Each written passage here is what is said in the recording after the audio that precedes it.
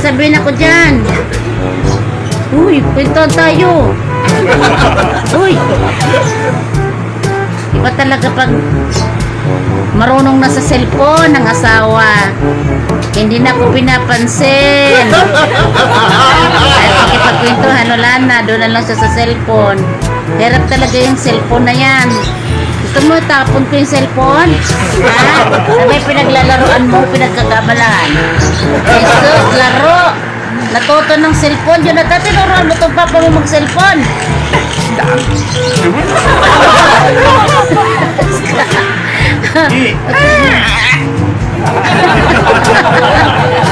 Ay.